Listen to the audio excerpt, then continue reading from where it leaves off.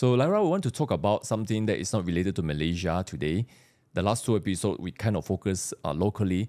But last Monday, there was something that kind of shocked the internet, right? Yep. So, that was the Elon Musk talking with Donald Trump, 12th of August, 2024.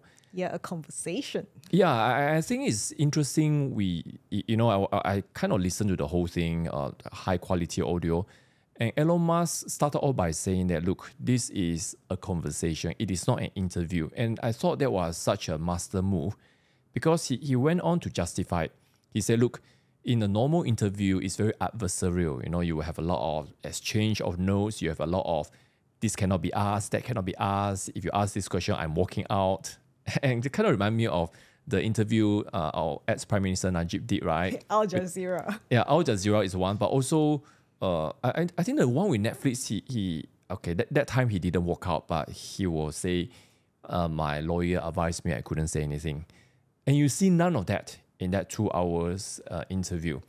So, so I think today we wanted not so much to break down because I, Lara, I think there are many, uh, there are many uh, other programs and sites that already break down. But I do want to begin with this statement, which is immediately right after the interview. Uh, sorry, we talk about interview after the conversation. Do you see all the mainstream media headline? Yeah. And I think one of our friend was doing a, a collage. You know, just you know all the mainstream New York Times, BBC, The Guardian, and it's like they have nothing positive to talk about it. And, and I mean, they are a bit more creative now. At least they don't copy each other's headline, like like some some robotic uh, kind of thing. But they, they were really, really negative and they really sounded like they were very hateful and I would even say fearful mm. of what is happening here because here you have two very, very influential people. So so what what maybe we can begin with that before we get into the discussion. Or why do you think you know there is this kind of reaction? Well, I think the first thing that really came into my mind was, you know, how quickly the media actually just sort of throw their weight around supporting Kamala Harris. Mm. So so I felt like in a way they they can't bear to see that hey in in just a few moments I mean initially you just have like 200 million views and then after a while within a short span of a few hours you you literally get like a billion views mm. which is crazy I mean you're talking about one in seven person around the globe that has listened to the whole conversation so I think they so it, it's almost like a media sort of control where, hey, we need to do a bit of mitigation just to tackle down this whole thing. Mm. Let's let's not make a big fuss about this whole thing. So it, it's like if we are saying that Kamala Harris is trending, then let's all just put our weight around that that particular topic and just say, hey man, this is just no, no one has listened to it. You think that the media is like talking about this whole thing, making such a huge hoo ha about this whole thing, but it's just nah, nothing to be worried about. I, I felt like it's really that because mm. uh, what what we really see throughout this whole election cycle is that the media is really really manifesting where it, more and more you're actually seeing that hey, actually the president of the United States is now being controlled by the media. So mm. they have to follow a certain narrative. Yes, we have been talking about like them be- becoming echo chamber, but like what you say, they have become somewhat a bit creative, not not sort of like a copycat. Yet you can still see that they are echoing each other in in different terms. Yeah, that, that was what we discussed in the previous episode, right? You know, so, so social media especially kind of come into now. Of course, the, the legacy media they have all the rights to give opinions and they're subject to the, the media law. Uh, but but one of the things about uh, the whole thing on on X kind of remind reminded me of when X hosted Tucker Carlson after he was kind of you know removed from Fox, right? And there was quite a huge event, but this one is bigger. Yep. Much bigger, right? And now the other thing about the data release from X, talking about the biggest group that engage and it's the age range 25 to 34 millennial. That, that's your your generation. 70% yes. Now of course the first thing that comes to my mind is really the technological technology literacy and maybe the older gang wouldn't know how to log in app and things like that. But it's still astounding right? 70% of the close to 1 billion engagement. That That's how. Now, of course, people will be like, oh, how do you know people listen to the whole thing? To I, I mean, social media doesn't work like that. When, when they give a data and say engagement, you, you know, it, it's like, oh, this, this channel is popular. They have a. You count everything. You can't say, oh, for Donald Trump and Elon Musk, we have to put special rule. You must sit there and watch. How many people sit there and watch uh, two hours, uh, listen two hours of the conversation? But you can say that for every top channel of all social media. Most people are just there for seconds, right? But anyway, give, give, give me your comment since that's kind of like your generation. No, I thought what was the most interesting thing that that that really just sort of what we can see in our local scene is during a time when there is uh, a lot of fear concerning green wave, mm. and and one of the things that was coming into my mind was really the use widespread use of TikTok in political campaigns that PAS is aggressively using. So in this case, I, I felt like it was very very genius move of what Elon Musk is doing to literally indirectly hey, you're talking about a, an outreach of 1 billion person. How much money do you have to put in if this was going on an advertisement? So talk about that sort of impact, like you indirectly supporting a, basically like endorsing a presidential candidate and just having that sort of honest and deep conversation and actually what they're doing is they are really reaching to the group of people who are low information voters who are low propensity and you're talking about this group of person who just sort of like casually scroll through your social media and then hey like suddenly there's this thing that is trending and people are like just genuinely listening to the all the topics that are really deep to their hearts and mm. hey how do how do we make our lives prosperous again so that that's the kind of thing that i felt like it was the most authentic about this whole conversation and i think that's the thing that my age group would like to hear mm. rather than something that is very scripted and because I think what makes um, Olympic so fun to watch was because of the, that there's that sort of sportsmanship and authenticity that comes out of it, and when people are like just rallying behind certain gymnasts or certain athlete, and I think I see the same sort of support that is coming behind mm. these two giants. Yeah, it's interesting you use the word authenticity because that is precisely what Donald Trump has over all his rival. I mean, you talk about unscripted. You talk about, you know, when he was sharing about, you know, the the assassination attempt, and he was, you know, he kept saying that, look, on that day, you know, usually the chart is on this side. Usually I do it towards the end. You know, he went in inland, and it's really like he has that. You you know, he's just like very creative and very spontaneous and everyone will be like for that split moments, you know, because he turned at the right angle the, the bullet kind of just scrap through the yeah. yeah. And the funniest part about that conversation is that because he was talking about illegal immigration, which is a topic that was deep in his heart. Yep. And and then Elon Musk just sort of joke and say, "Hey, illegal immigration save your life," and he, he, he kind of like actually second it. And mm. he, it, so I think it was that sort of like it's almost like a friend talking to another friend, mm. sort of authenticity. Authenticity, yeah.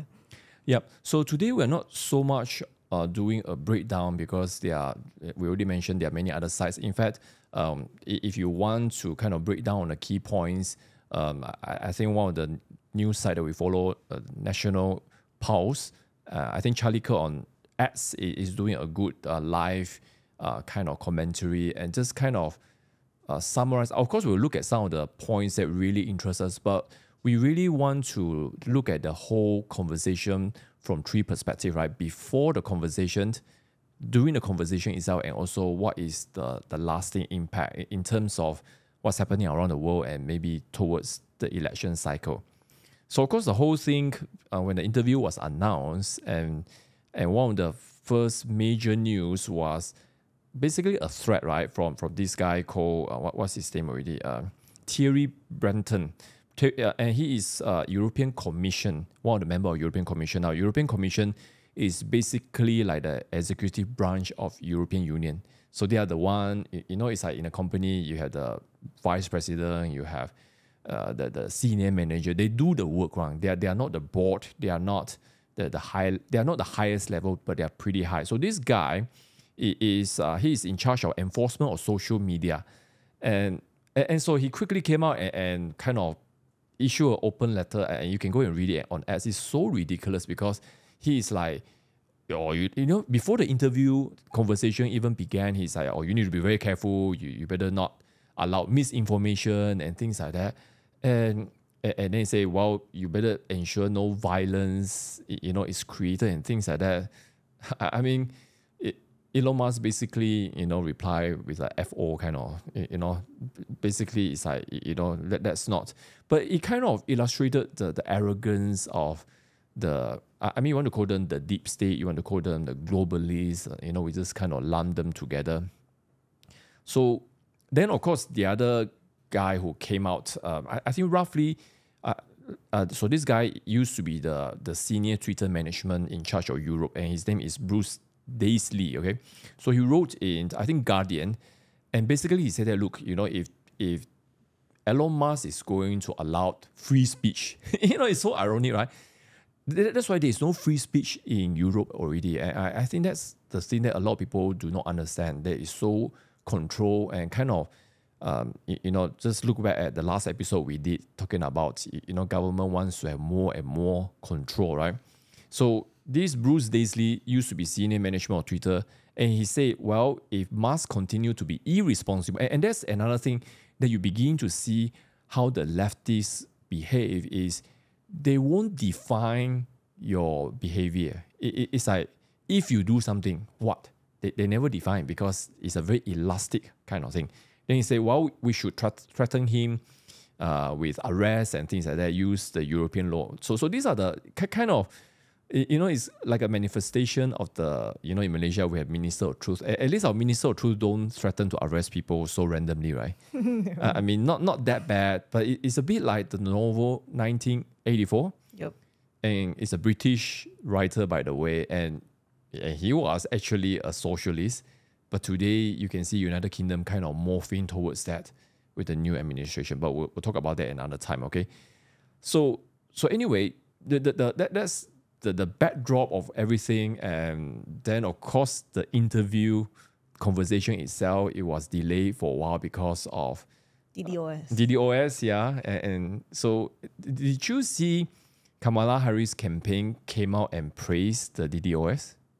Yeah, I think I think there was. And kind of, it is like, I, I don't know, you know, you know, when we were younger, when we look at American presidential or general election contests, we always see it as kind of like a fair goal, right? Everyone will be like honorable, but that kind of pretense are all thrown out already.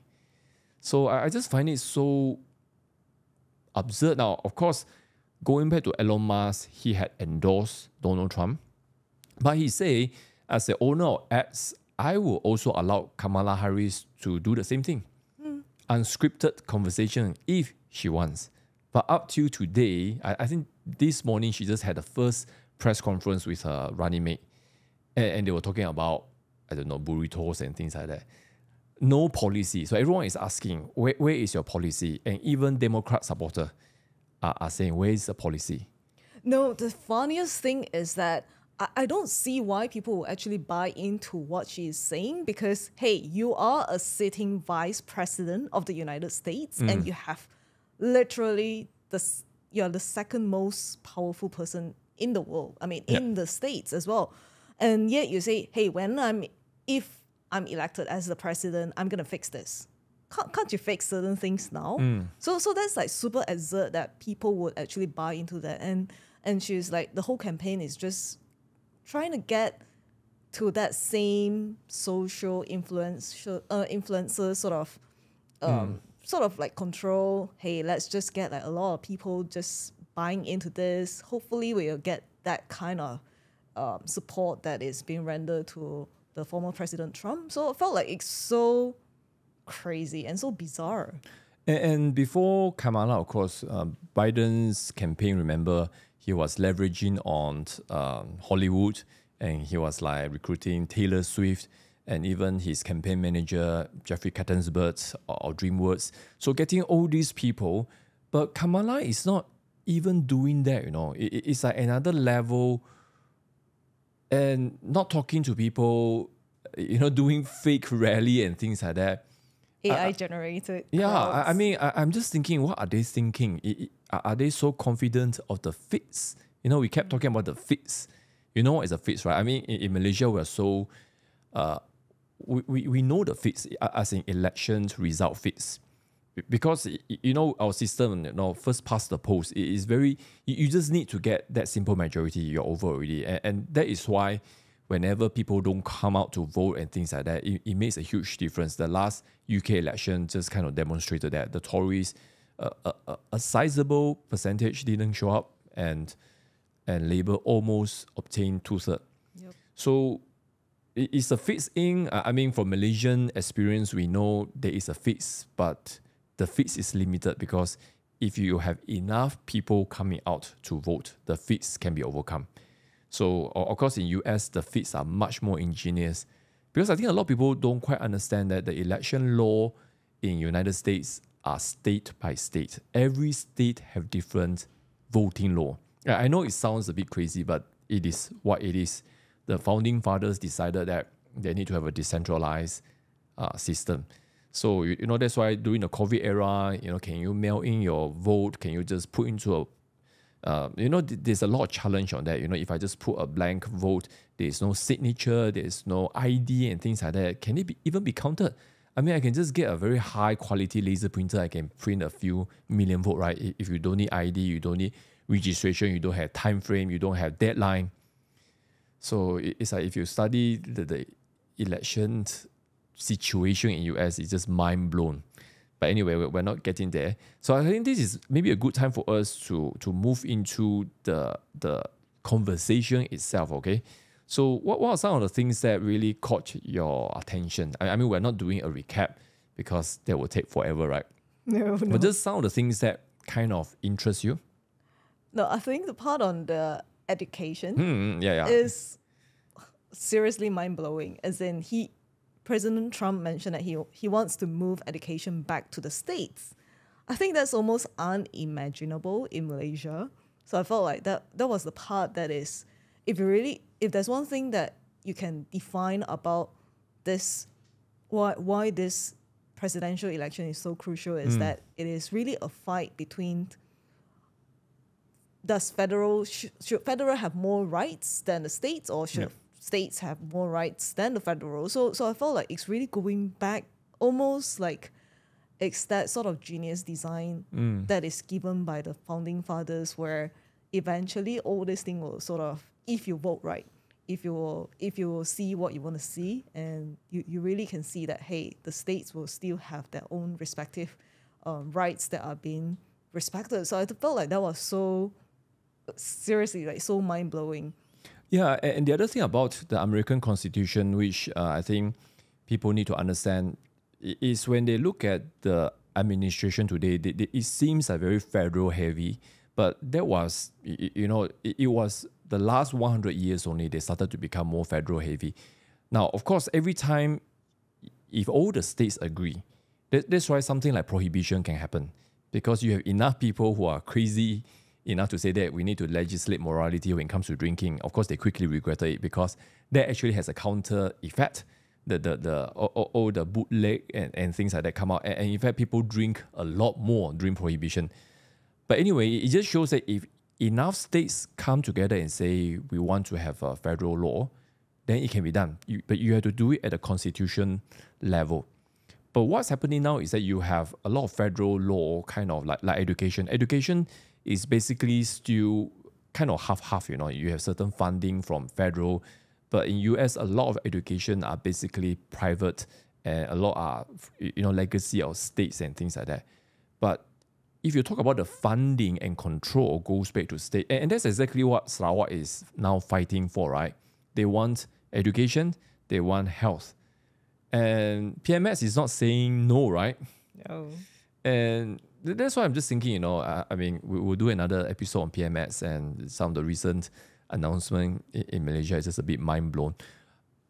But he's not. I, I mean, one of the things I could see the politicians in West Malaysia doing would be, you know, let Sarawak have their cake and, you know, it doesn't affect us. But I think it's not a bad thing if you give education and health autonomy to Sarawak because if they do well, all the other states here, you can imagine Penang, Selangor, Johor will be the first, We'll be like, hey, we also want the same because their education will be comparable, if not better than Sabah and Sarawak. Hmm. in, in terms of the development and maturity. And we still have not fully lost the British legacy. Not fully yet. So I, I think it's a good thing, right? And and it, since you talk about Trump and, and he he his full quote right after he said they move education back to the states and he said oh the 50 states i will bet that 35 will do great. And 15 of them as you know 15 20 of them will be as good as norway said norway is a benchmark for education. So here he he make a very interesting point and maybe it is more indirect. It is when you give power to state level many states will do well but a few will screw up. Hmm. So it's like the choices or the voters, the choices or the politician could cause a state to become very badly run or very well run. But that's the beauty of democracy, isn't it? Yeah, I, I mean, I, I heard some people say, oh, if you do that, some states will be left behind. Well, I, I mean, when we talk about policing and things like that, it, it's a very tough situation. But surely the, the residents and voters there had to be somewhat responsible for what's happening. And, and that's why the, the saying, right, elections have consequences. Hmm. So, what are the things that, that really uh, interest you from the conversation itself? I mean, so many interesting, I mean, even climate change and things like that.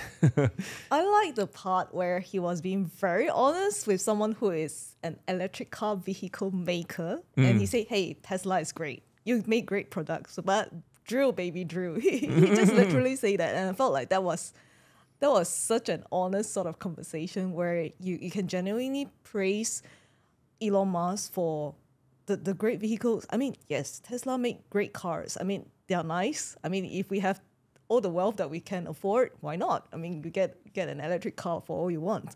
But the thing is, he also understands that hey, it's the energy that really will bring in the revenue for the mm. country, and and he just basically the authenticity that Trump showed was that he doesn't pander to anyone at all. I mean, Yeah. can you imagine if Kamala Harris is here today and talking to Elon Musk? She'll definitely just quickly fold to like, hey, well, let's go into more green energy, uh, climate change, climate control a little bit more, and things like that. I mean, she'll be a snake to this person, and she'll be talking a different thing altogether. But you see, Trump is being consistent throughout. Yeah. And, and I think Elon took the opportunity to kind of uh, explain his view on climate change, which I find very interesting. And, and this is something that we have talked about sometimes here, which is look, we're not against uh, renewable, we're not against sustainability. But what you're trying to do now with EV mandate, is here, here we come the word mandate again. And it's very similar to the whole vaccine issue. When you want to mandate something that is not proven, you can kill people, you can harm people. And that's what uh, Elon Musk was saying in the, in the conversation that if you take away uh, fossil fuel immediately, you, you know, farmers will starve and, and things won't work.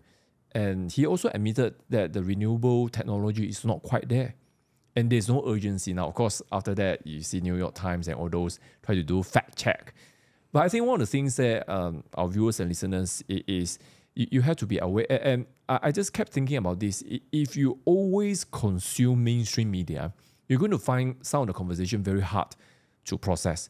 But what if we say to you today that climate change is hardly a settled science? And a lot of people cannot imagine that because to them it's settled. It's not. And so, it, uh, I mean, you can have different views. Elon Musk say it's not settled. You can disagree with him, but it just shows that when the richest man on earth make a statement, at least there is some validity for people to argue for or, or against it. So, so I think this is the thing that people need to begin to to process, so that you are not always under the thumb of mainstream media. So, so I think for this episode, since if some some people are interested in the breakdown, we'll put Charlie Kirk and National Pulse link. Those Yep. will be like your gateway to some alternative view, and kind of remind me of what Jeffrey Katzenberg, uh, Biden previous uh, campaign chair, co-chairperson was saying, and he was telling his donors. I think we mentioned this last episode, and he said, "Trust me. if But you don't trust me, still trust me, but verify." Actually, I thought that is pretty good, you know, because it is like that, that means on the foundation, I want you to believe me, but I want you to fact check me. And I think that's the thing a lot of people don't do in mainstream media is you, you know you look at uh, so so so with regards to this conversation, some of our friends, I, I think David Dian was showing us BBC, right? And he said, look, the, the comments in BBC exploding. So we went to have a look and I, I was quite delighted to see that all the comments are against mainstream media. It's like, what the heck are you doing? You think you are so smart and things like so seems like and, and I think this is a millennial, you know, your generation, which previously will be the one that is I mean it's not. Brainwash. I mean, okay, I, am not saying brainwash. I'm saying that they are they are probably Biden's uh, Democrats, European Union bigger supporter, but you can also see that there is a shift because maybe life is becoming harder. Inflation is killing them. I, I don't know.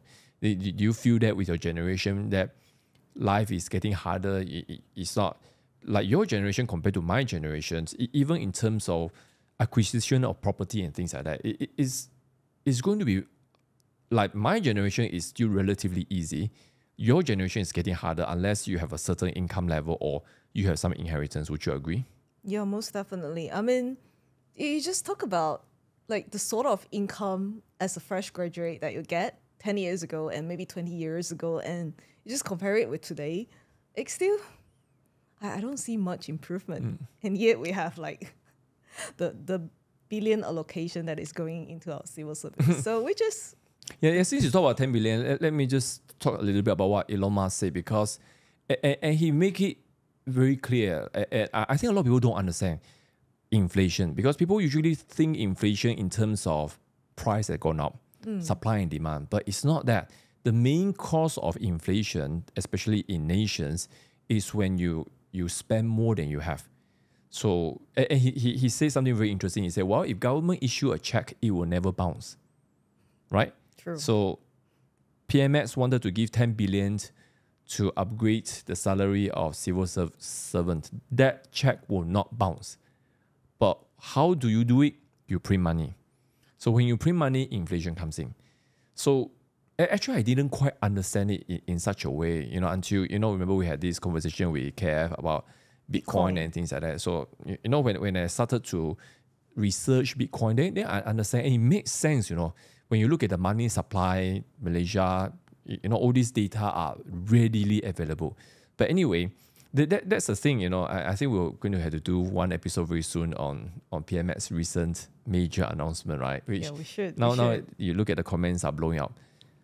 But I think let's let's talk about one more thing, and then we want to kind of go into conclusion already. And and I think it's actually now now of course the the, the, the impression because later on I think he, he posted uh, a, a much clearer version and uh, of course because it's a conversation with Donald Trump Trump side gets the clearer audio so he get the like caller audio you know but he did make some interesting point every now and then I, I think this one which he's trying to explain why he support Donald Trump I think this is the one that causes the mainstream media to really go crazy. And he said this, and I quote, Historically, I was a moderate Democrat. And in fact, he went into the whole story on, on how he waited six hours to shake hand with Obama because he was like so impressed with Obama. And, but, saying, but now I feel like we're at a critical juncture for the country. For the people out there in the moderate camp, I think you should support Donald Trump for president, the common sense president. So that is very damaging, especially if you see election is won in the margin. You know, you and me, any election, we know who we're going to vote and, and things like that. But there will be a lot of people undecided, uh, or, or, for whatever reason, they are just not interested. They are not interested to read ten news per day. They are, you know, it's not like they are smarter or less smart. They are just not interested. And, and so people like that are starting to feel like, hey, I need to do something because my life is being affected. It, it's like I go somewhere, I, I buy a donut, it's costing me six US dollar now, or whatever, you know, or, or, or a local equivalent. And, and people started to, I think when you, you are hit by the pain, maybe your brain will start to think. Yeah, I mean that that is the saying that goes to the parenting, right? Yep, yep. So so, so it's very fascinating interview, um, and the only other thing I will kind of mention is just the, the energy uh, the stamina. I, I know it's a bit ask for you, uh, you to go through two hours of long format and things like that. It- you know, it- it's not easy. Not not everyone likes this kind of. But I, I just look at President Trump, the energy, the stamina, the ability to switch topic. It is astounding, and I think that also put a lot of fear in the, in his opponent because it's like, wow, this is a guy that really knows what he's doing. Because uh, okay, this is the final point already, I- and before we move to the conclusion, and, and he said, look, wh- why should I be doing this? I don't need to be doing this. I could be retiring. I have all the money, but he couldn't bear to see the country being destroyed. So, Lara, you have anything else that kind of caught your attention before we move into the the, the third and final part to conclude? You know. Well, I think the he also talked about the the border policy. So I Mm. felt like that's that's also one part where, I mean, I I, I can't help but just think about the the point when Trump just make his announcement to run for the president. Mm.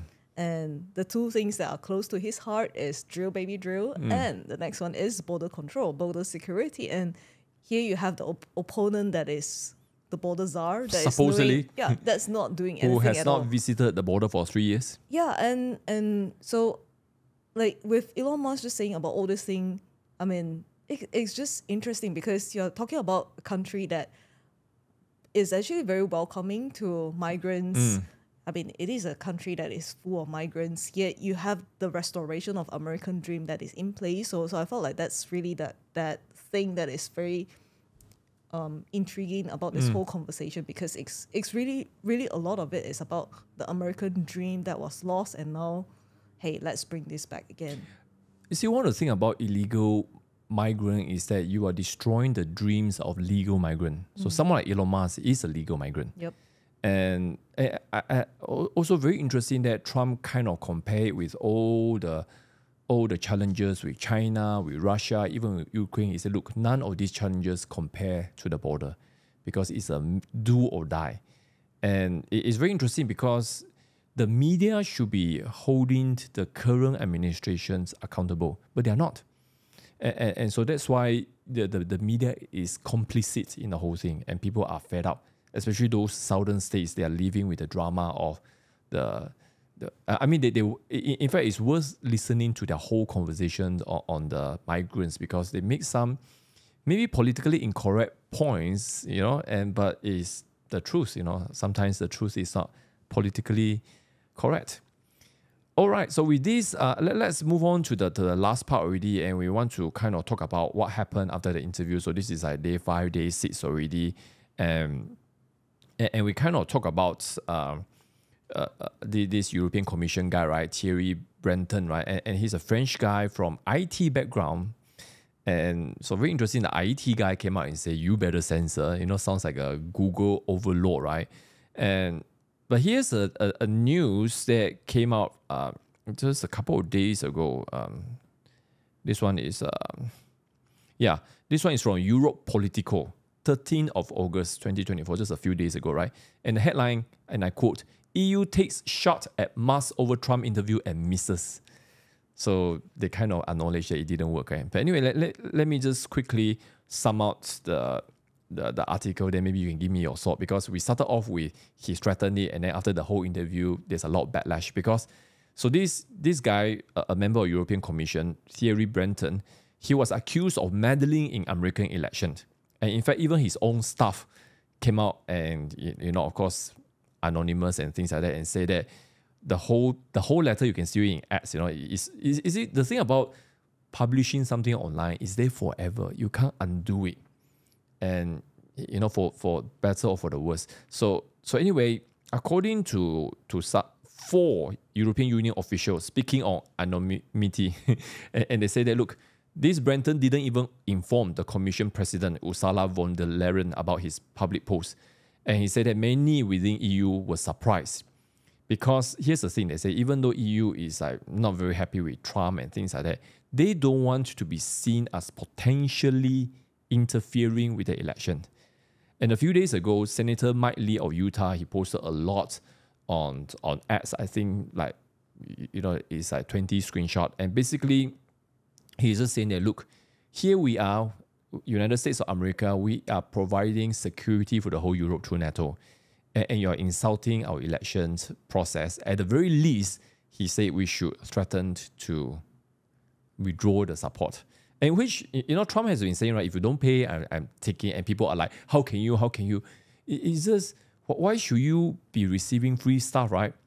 Then, of course, the the the CEO of X, uh, Linda Y- Yaccarino, immediately after the letter, she, she responded, an unprecedented attempt to stretch a law intended to apply in Europe to political activities in the US. And then she also added, it's an insult to the people in Europe because now you think you, you are you, you are assuming that the people in Europe cannot think.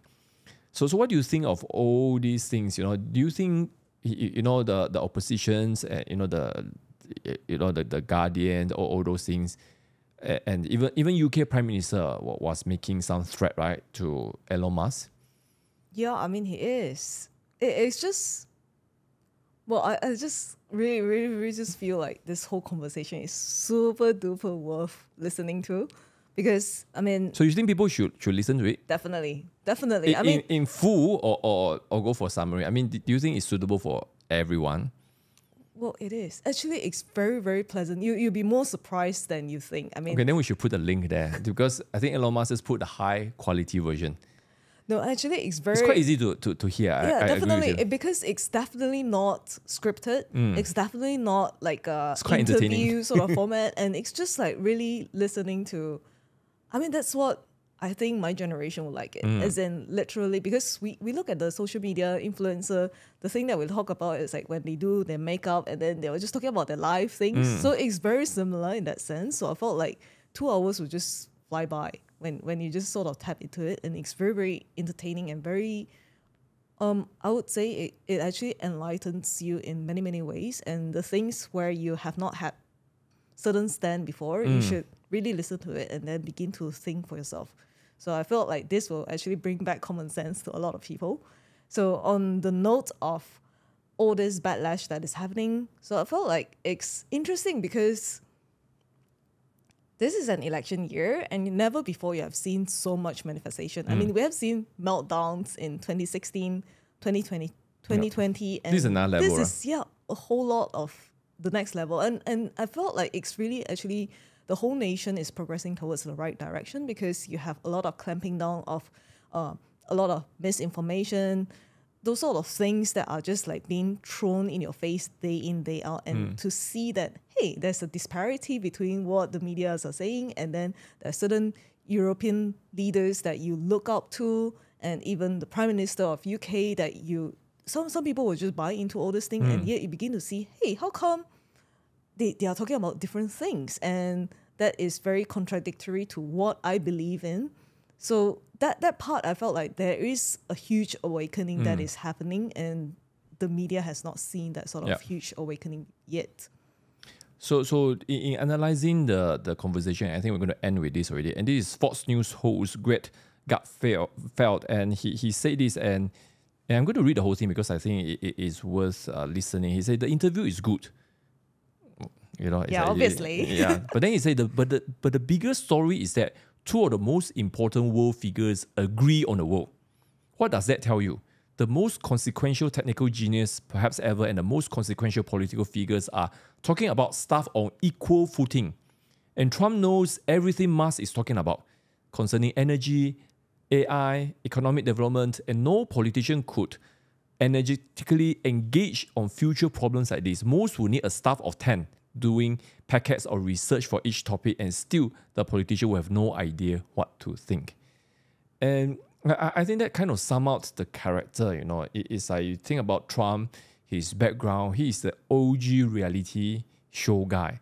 And reality show guy is basically what you see is what you get. You know, it, it- I don't know how many of you, you know, in the 80s, 90s, when we, we start to use personal computer, there's this concept called what you see is what you get.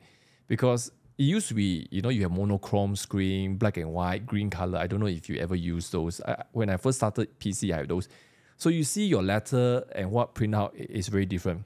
Then finally, you get modern Macintosh, Windows, and they start to have this concept: what you see is what you get. So, you know, these days you see Microsoft Word formatting, you print out Excel. You, you, there's no surprise, right? Print preview, print screen. And I think this is the thing, like, like you were saying that people want authenticity, but of course there is also substance. You know, if you're authentic and you talk rubbish, I mean, I think you, you, you have you have zero content, that's not going to work, right? No.